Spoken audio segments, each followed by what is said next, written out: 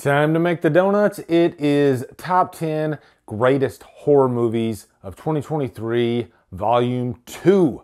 Let's go.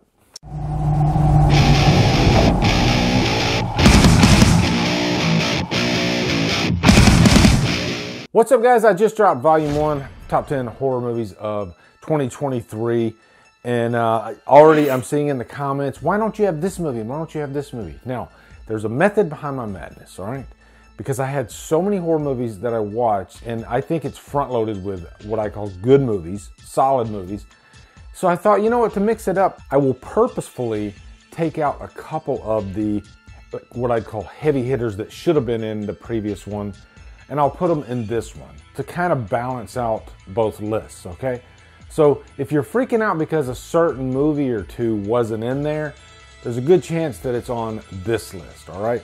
And uh, I, I actually did a live premiere, and I actually enjoyed that. I almost had 100 people watching, and uh, it was cool to kind of discuss it with you guys as you were watching the video. So I'll, i think I'm to do that with all of these. What gets my juices flowing is I throw on, uh, today it's the John Carpenter Lost Themes 3. I had that on in the old uh, record player over there. Uh, uh, not a promo or anything, just, you know, I, I like to keep it loose and um, you know, not so professional.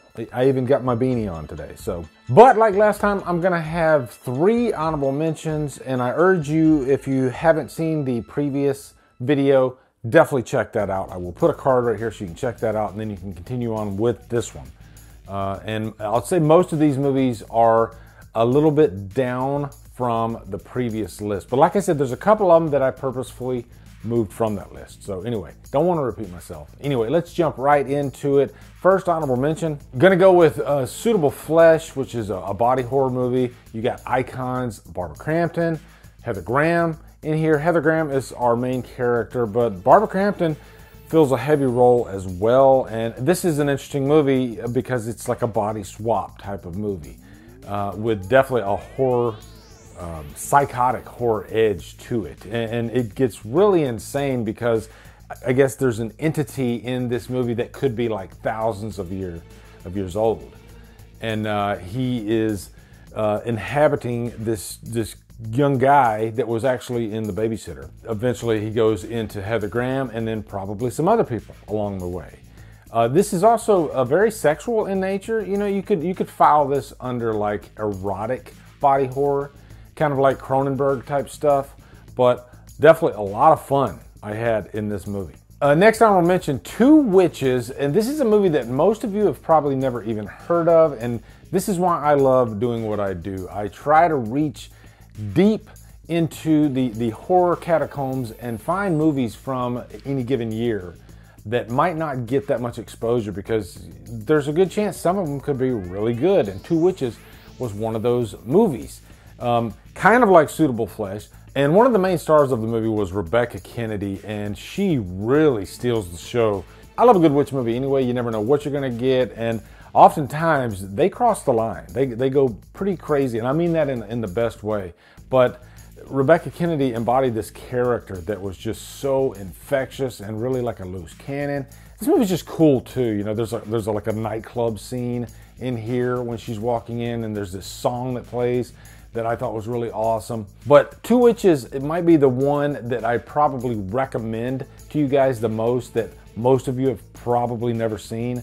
So glad I put it on this list. And also Halloween fans, you'll notice Kristina Klebe is also in this movie. Nice little bonus. And last honorable mention is going to be Cocaine Bear. This movie is one of those movies that just delivers exactly what you want. Ba loosely, very loosely based on a true story. Really, the only thing, I guess, a bear ingested some cocaine, but outside of that, everything else I think is made up in the movie. But some really good laughs, and I think it deserves to be on this list just because of the freaking ambulance scene, okay? Uh, I, I don't think the characters are anything to write home about, but this movie knows what it is, and when I saw this in a packed theater, the, the crowd was roaring in laughter, and I think that just added to it. Okay, jumping into the top 10 now. Number 10, Wrath of Becky. This is a sequel that I guess nobody was really asking for, but nobody was saying they didn't want it, you know, because this was a character that was very infectious, a child uh, being the lead in a, a horror thriller, you know, kind of a, a home invasion type movie, and the child has to, you know, it's pretty much kind of like a Home Alone, really, if you think about it, with a with a, a, a dark edge. But I think I prefer Wrath of Becky because she's older now, and she starts becoming a weapon.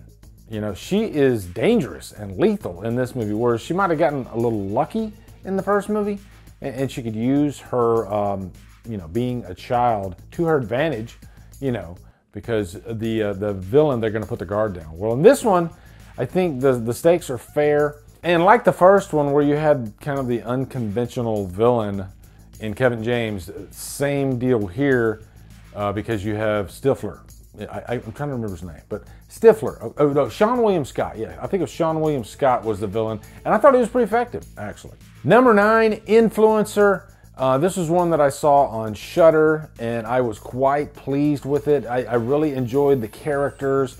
Definitely a good thriller with uh, this main character that is always like two steps ahead of everybody else, you know, kind of like a, a con artist type of character. But she's also, you know, sexy and she uses that to her advantage, which we love those types of movies. But also, there's a part of this movie where they end up on this island and then it gets really batshit crazy and it goes in some directions that you might not expect.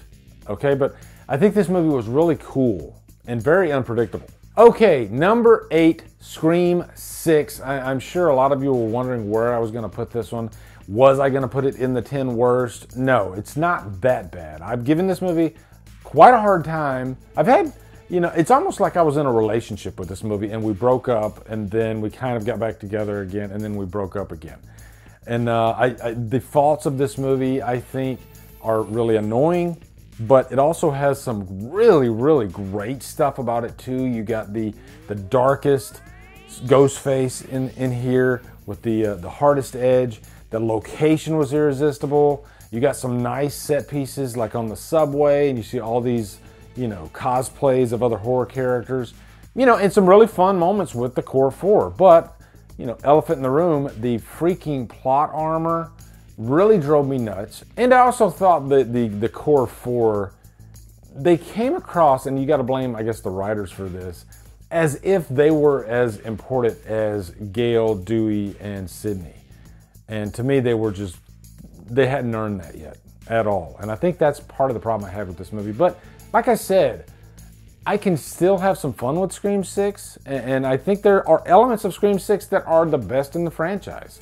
And then there are elements that are the worst in the franchise. Hell, the, the final reveal might be the worst reveal out of all of them. And this movie, it, it took some chances. I got to give it credit for that.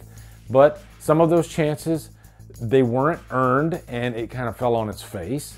And some of them, like the opening of the movie, I thought was really cool. Okay, number seven, It's a Wonderful Knife. This might be the most divisive on my list. Some of my friends hated it, some of them loved it. I did like a, a podcast with Rachel's Reviews and Sean Chandler, and it was weird because Sean hated the movie. I think I really liked the movie, and then Rachel was kind of in the middle. And I understand both of their reasoning for that. But um, having seen It's a Wonderful Life, I liked that this slasher, much like Totally Killer, took another genre and tried to apply that genre to itself and it doesn't fully work, but I like the message of the movie. I think it has some really cool aspects. Um, don't ever watch the trailer for this movie if you've never seen it, but um, I actually like how they handled the killer too. The more I think about it, you know. And, and these lists, I don't spoil anything, okay? Yeah, this is one of those movies that I'm gonna recommend to you, but there's no guarantee that you're gonna like it. Some of you might not like this movie, but I actually had a pretty decent time with it. Number six, Saw X. This might be the most surprising to me because I'm not a Saw fan at all. And what worked so well about Saw X was just stripping out all the, I guess, what I'd call bullshit from the later sequels in the movie. I think the plot gets way too convoluted. And what I mean by convoluted is not that I don't understand it, but I just don't care. You know, especially when you when you start getting into Hoffman and, and, and all that crazy stuff. I, I, just, it got a little bit too um, up its own ass. And some of the twists were way too far fetched. And I got friends that love this franchise to death, you know? And, and, and, you know, I'm probably like this with Halloween. And others will tell me I'm stupid for hanging on to this franchise. But so I, I get like Jason from Sinister Cinema Reviews, Chris Snyder, they love this franchise. And I love that they love this franchise, okay? But Saw X was down to the basics. Really fun movie. You had John Kramer front and center again. And you know the guy that you don't want to cross, which these doctors uh, did, and I think out of the entire franchise, the victims in this movie were the ones that deserved it the most. You weren't feeling bad about any of the victims here. There was no question. Whereas in some of the other movies, you're like, did they really deserve that? You know, but in this one, they deserved it. Number five, Cobweb, another really, really solid thriller. I, th- I think this is more horror than thriller. But it's one of those where, like, there, is there something in the wall, or is it just like a, a voice that the kid's having, or, you know, what could it be? Who knows? But I think this movie is so effective because of Lizzy Caplan and Antony Starr. Antony Starr? Yeah, Homelander. Those two give really great performances, but also just the characters themselves, um, unconventional, a little bit loose cannon, a little bit psycho, and those are just fun characters. And then you got this this kid. He's the one that's like seeing these things and hearing these things in the wall. Get ready for a last act that gets a little crazy. Um, I was getting like uh, vibes from like the boy stuff like that, but also a nice placeholder for the Halloween season. You know, you got some Halloween vibes in this movie. It takes place during the season. You got some nice pumpkins, you know, landscape, all that stuff. So yeah, Cobweb, big surprise, and I actually enjoyed it quite a bit.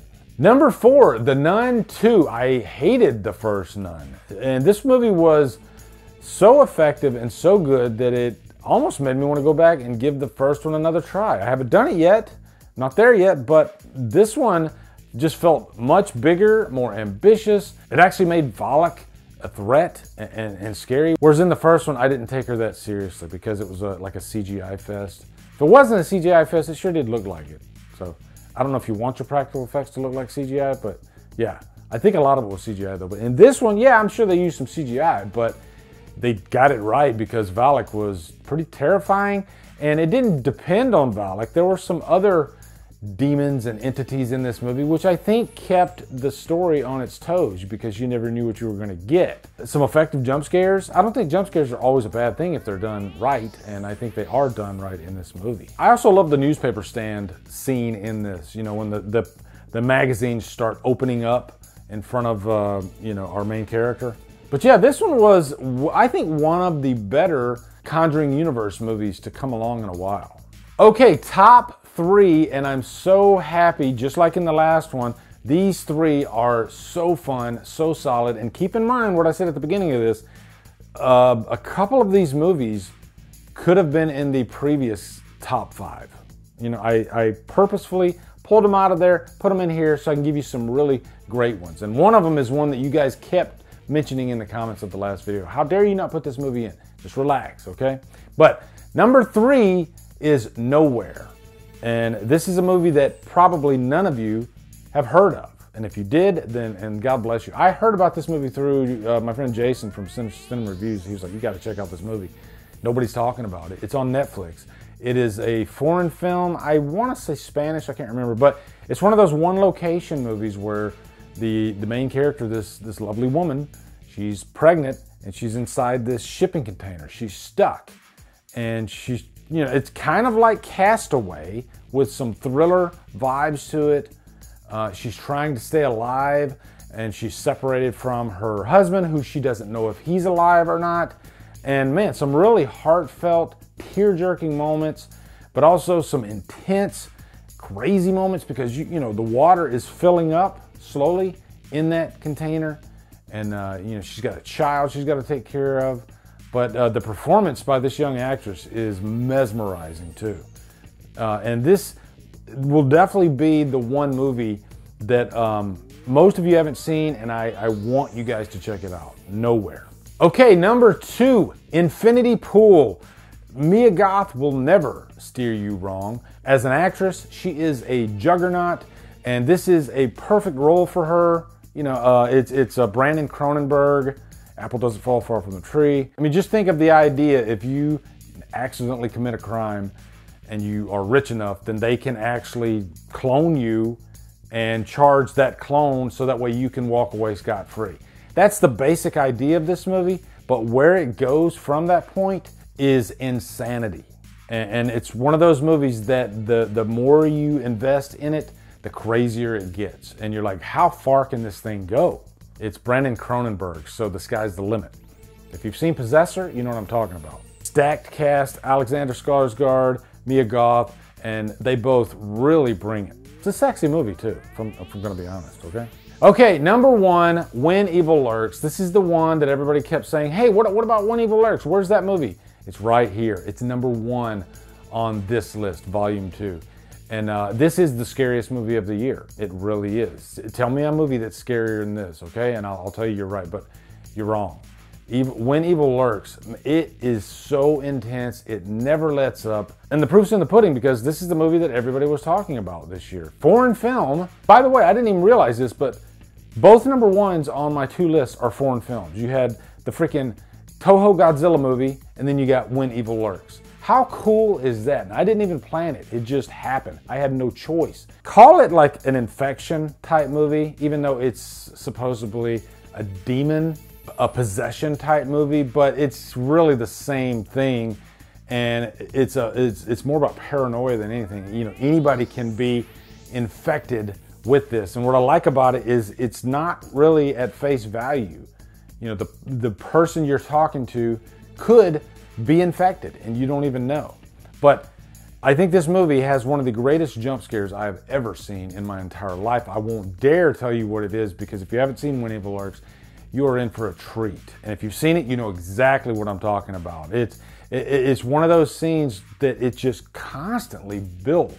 Like I said in the review, there are different types of jump jump scares, and this is one of those where you are scared all the way up because you know what's coming. You know, whereas other jump scares you don't know what's coming. This one you know what's coming, and the payoff is bam. Yeah, Levi just jumped because I did that. So super happy to put When Evil Lurks on this list as number one. So I need to see your list down below. If you didn't comment in the previous video, just put your top 10 movies of the year. But I saw so many of them. I still have another list of uh, the stinkers, the worst. And I think the, the, the first few that I mentioned out of that list might be still decent movies, okay? Uh, so look for that real soon. But uh, yeah, anyway, guys, Thank you so much uh, for watching. Be sure to check out Drum Extra, my second channel. I, I am putting a lot of my DD Live clips on there, and it's been so fun. That, that channel is actually thriving quite a bit, getting some really good views. And, uh, you know, it's a good chance for me to talk about like physical media and stuff like that too, kind of stretch my legs. But yeah, check that out. Also, be sure to come over to Killer Flicks where we talk horror all day and every day. And on Fridays, we do Free for Fridays. Follow me Drumdums on my socials. Support me on Patreon. Buy me a coffee. You know, guys, thank you so much for watching. Have a great day. Rum Dum out.